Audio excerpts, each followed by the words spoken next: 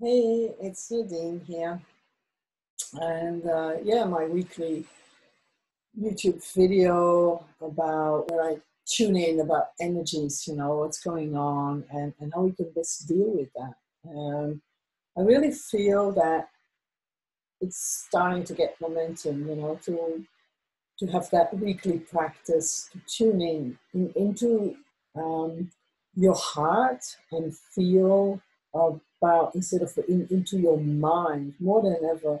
Because when we go these days and sit in our brain, in our mind, it can go and make you crazy. There's so much uncertainty. There is like, oh, is this going to happen? Oh, it could go that way, and, and the polarity, like it's it's there at the same time, just as as present, and you don't know whether it's gonna be red or black if you'll be playing roulette. You know, he's gonna let's say you only took a bet on color. I don't even know whether you can do that. a gambler. Um, then you would go like, well, what's it gonna be? Um, am I thinking in your life? We've had all this 2020 time to go deep and feel what is important to you what really matters, um, not what you think that should matter. Again, not thinking, but how do you feel in your body, in your heart when you do certain things, and how do you feel different when you don't do it, and when you go another way.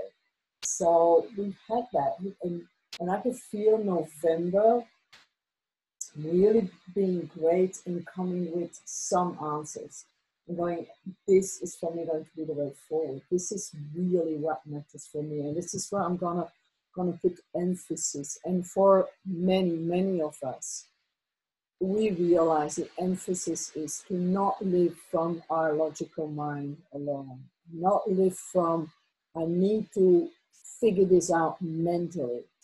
No. Your your biggest problem, my biggest problem, we all have the same biggest problem is that we are disconnected from the part of us that knows. I call it sometimes source energy, um, you know, or higher self, or you, you, can call it whatever you want. Some people call it God, some people call it Yahweh, Allah, whatever you call it. Um, it's, it doesn't matter to me what you name it, but we all know that thing that is not a thing.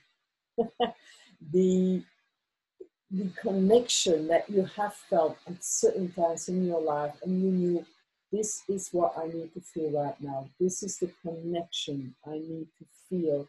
And this is where my creative ideas come from. This is how I create my reality. This is how I do my transformation. It all comes from that same point. My apologies for that background noise. My computer keeps overheating. I have a brand new battery in it, but the um, it's the ventilator we can hear.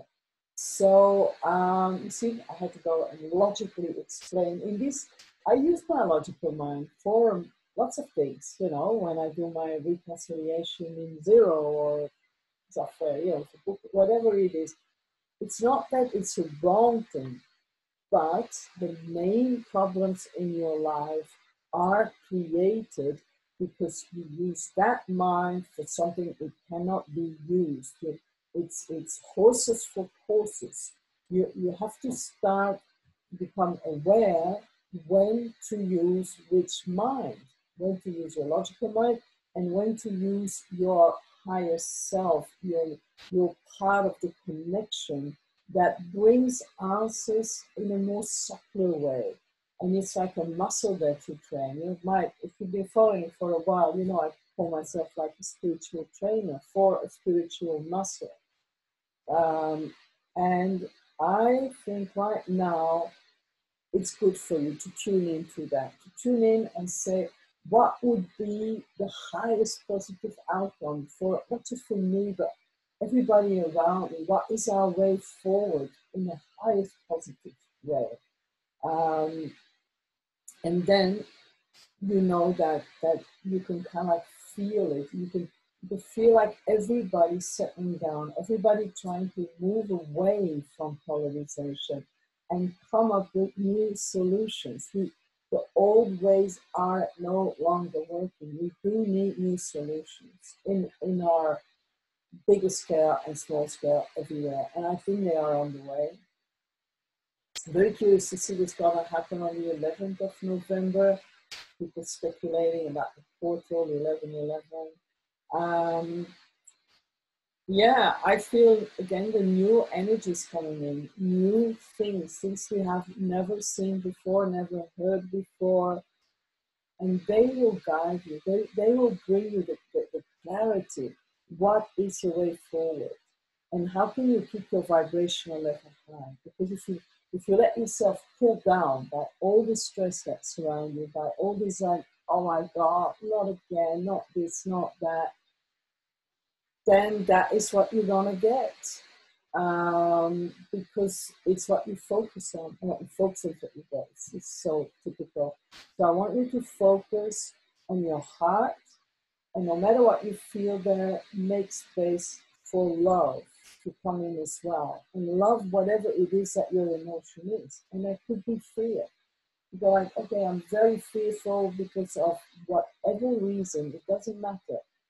Fear is fear. Do not run away from it. Feel it and say, and can I now feel love in that same space where I feel my fear inside me, my, my uncertainty? I feel uncertainty. Okay, can I add love to that feeling? And um, I think you are on a great way. Once you surrender like that, once you go like, okay, it's not about my will that needs to be done.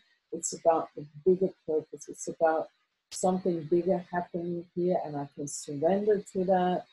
I can let this happen and believe that there is a great outcome to this, or that this difficult time of change that we're going through, we're going to come out better, stronger, um, more on purpose, more aligned. You know, really like this is my way forward and feeling it. Okay, that's it for this week. I'm wishing you an amazing week. If you ever want to have a, a chat with me, um, make sure you get onto my email list because there's um, often options there to just book a quick chat with me, a 10 minute chat.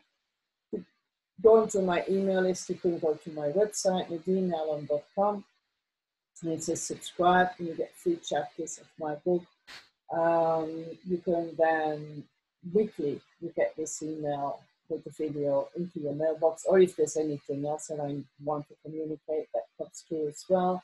If you like the video, please hit the subscribe button or the thumbs up and we can keep this channel going. Thank you, bye for now and talk soon.